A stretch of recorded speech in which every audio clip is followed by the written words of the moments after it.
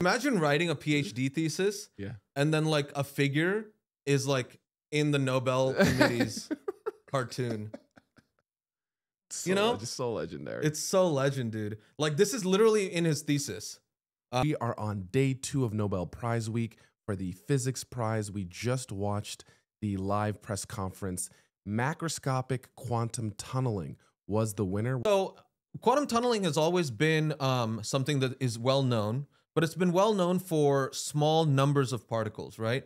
What this year's Nobel Prize winners did was experimentally confirm quantum tunneling and quantum behavior for like on the order of a billion individual particles, Mm, all acting together and quantum tunneling together. Interesting. Okay, yeah, so it's it's several orders, orders of, of magnitude, magnitude. above that sort of undergraduate level understand. in 1978, Anthony Leggett, who is another Nobel Prize winner, he started asking, well, can I make a macroscopic tunneling experiment happen where instead of doing Cooper pairs that are tunneling, the and and and like each little thing is treated like a like a, a quantum mechanical state, what if the entire circuit is a quantum machine? Right. Right? It's Yes. like a it's like a the entire circuit is an as- atom Yes. in some sense Yes. that's doing this quantum mechanics. Okay, that's the idea, right? Right.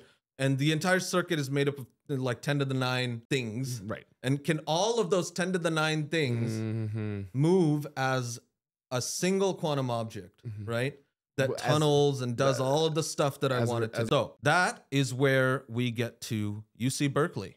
Okay, one of my favorite universities in California. So we're in the physics building, the UC Berkeley, legendary building, right in the center of campus, right next to the giant tower that UC Berkeley campus is well known for. That's the building where you know Oppenheimer's been in. Um, that's the building where plutonium was discovered. Several Nobel prizes, and actually now they got a plus three on a single day. That's unbelievable. John Clarke, at the time, after his PhD at Cambridge, he um, became a professor at UC Berkeley. He was joined by Michel Devoret, who was a postdoc in his lab, and John Martinis, who was a PhD student.